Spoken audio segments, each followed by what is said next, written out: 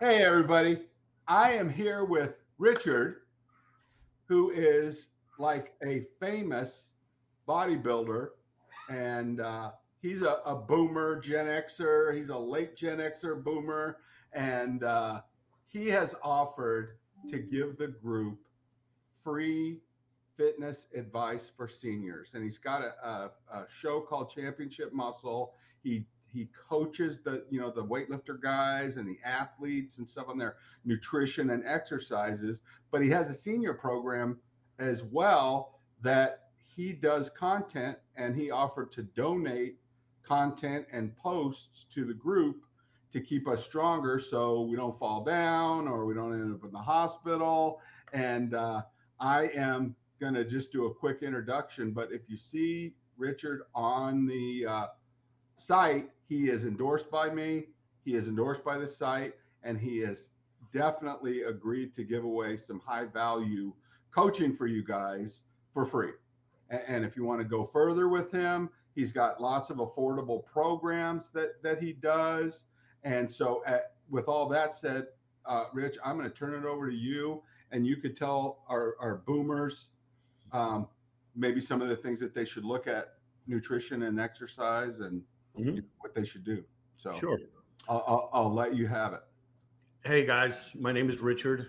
Um, I'm a boomer, just like you. I've tried to age as gracefully as possible, but you know, Mother Nature does her own thing, and you got to be able to work with Mother Nature. The biggest thing that you really have to be cognizant about when you're aging is your diet and you have to have some kind of exercise program. I don't mean going into the gym and being the bodybuilder. And a lot of us were the bodybuilders back in the day. I was a champion back in the day, but that was back in the day. You know, here, 60s, 60 plus, you know, you don't have the body you did back then, but you got to work with what you got now. And you have to learn how to train smarter, not harder.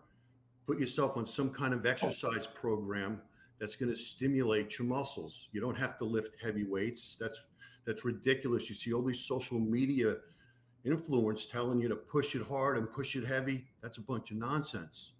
You go in and train with weight that you're comfortable with and just get the muscle stimulated, get blood flowing to keep you flexible so that when you got to get out of bed in the morning, you don't got to hold on to the bed and the, in the, in the nightstand to get your balance because you got some muscle stabilization.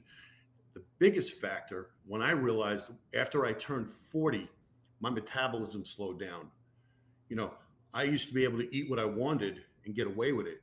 Well, that really changed. And I got diagnosed with type 2 diabetes, but the doctors never told me what the fix was. They just said, take this.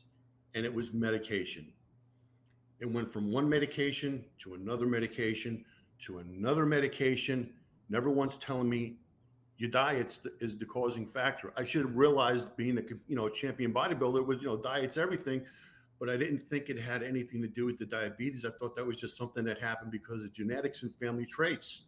Well, it's wrong. Your diet controls your type 2 diabetes, not your type 1. That's a totally different entity. But if you're a type 2 diabetic or you're pre diabetic, your diet is everything, and you have to stay away from the complex carbs and the sugars. And in my programs, I tell you guys how to help reverse your type 2 diabetes. In 10 years, I put 100 pounds of unnecessary body fat on because of type 2 diabetes and the medications they had on, they had me on in two years when I started reversing my type 2 diabetes, because it's not an overnight success story. You just can't stop taking the meds. You got to wean yourself off and take other supplements to help you control your blood sugars. I've been medication free for over one year. And after the first year, I was off of my metformin and Trulicity. The second year, I got myself off of injectable insulin. And now I'm in my third year, and I haven't taken any medication for diabetes, and I was like a 12 on the A1C scale. I'm like 5.4 now. So it can be done. It can be done. And that's that's natural insulin. Yes. Level 5.4. Yes, I have. I am. I am technically a type 2 diabetic. You can always go back to being a type 2 diabetic requiring medicine if you don't follow a healthy lifestyle, a healthy diet. But you stay on a healthy diet, you keep your A1C down, you're not going to need those medications. I take natural supplements that regulate my blood sugar. All right, everybody, we're gonna we're I'm, we're gonna end this little introduction because if you like this kind of content, we're gonna be Rich is gonna be doing uh, segments and dropping them in the group, and then we're going to be doing a weekly show that's going to be concentrating on one aspect of your fitness life. We're going to do five minutes every week because Rich is super busy with what he's doing, but he's agreed to donate five minutes on the mm-hmm. podcast mm-hmm. every week. But he'll be in the group and he will be available.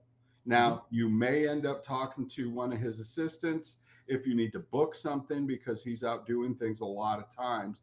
But in the group, if you catch him in a post, if he has time, he's going to be responding individually to you guys and, and giving out advice in the group so that if one person has a question, you know that in this group, 50,000 people might have the, the same question. So, Rich, I really want to thank you and everybody look forward to, uh, you know, socializing with Rich and getting healthier and stronger.